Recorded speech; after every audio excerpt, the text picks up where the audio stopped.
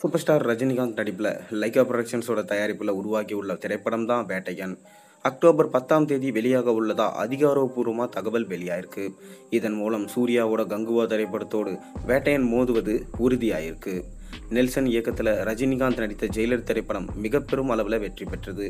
இந்த படத்தில் பாசமும் அப்பா தாத்தா நேர்மையான போலீஸ் அதிகாரி என நடித்து பட்டையை கிளப்பி இருந்தார் மேலும் அனிருத்தோட இசையில் உருவான இந்த திரைப்படம் வசூலை வாரி குவிச்சது இந்த படத்தோட பிரம்மாண்ட வெற்றிக்கு பிறகு ரஜினியோட நடிப்பில் உருவாகியிருக்கும் திரைப்படம் தான் வேட்டையன்.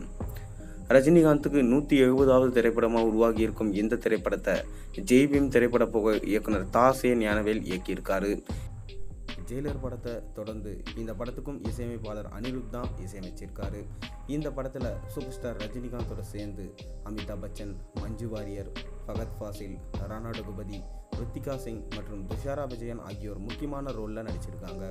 இந்த படம் பேன் இந்தியா திரைப்படமாக தமிழ் தெலுங்கு கன்னடம் மற்றும் இந்தி மொழிகளில் ஒரே நேரத்தில் வெளியாக இருக்குது இந்த படத்தோட ரிலீஸ் தேதியை எதிர்பார்த்திருந்த நிலையில் தற்போது படத்தின் ரிலீஸ் தேதியை படக்குழு அறிவிச்சிருக்காங்க. ஆயுத பூஜை பண்டிகையை முன்னிட்டு வேட்டையன் படம் அக்டோபர் பத்தாம் தேதி வெளியாக இருக்குது இது சூப்பர் ஸ்டார் ரசிகர்களை ரொம்பவே மகிழ்ச்சியில் ஆக்கியிருக்கு.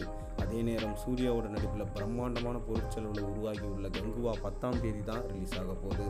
வரலாற்று கதையம்சம் கொண்ட ஃபேண்டசி படமாக உருவாகியிருக்க இந்த படத்தோட படப்பிடிப்பு ஓராண்டுக்கு மேலாக நடைபெற்று வந்தது. இந்த படத்திற்காக மிகவும் ரிஸ்க் எடுத்து நடிச்சிருக்காரு சூர்யா. திரியில் உருவாகியிருக்கும் இந்த படம் தமிழ் தெலுங்கு இந்தி உள்ளிட்ட பதினாறுக்கும் மேற்பட்ட மொழிகளில் வெளியாக இருக்கு.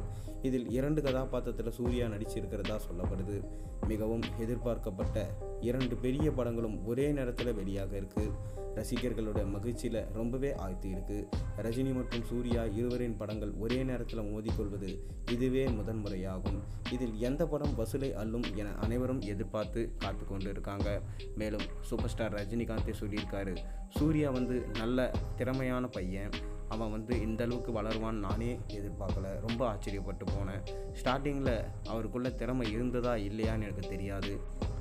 அதுக்கப்புறம் பார்த்தீங்கன்னா நந்தா பிதாமகன் காக்க காக்க போன்ற தொடர் வெற்றிகளை கொடுத்து தன்னை யாருன்றதை நிரூபிச்சிருக்காரு சூர்யா. அதனால் ரஜினியே பாராட்டினவர் சூர்யா அவர்கள்.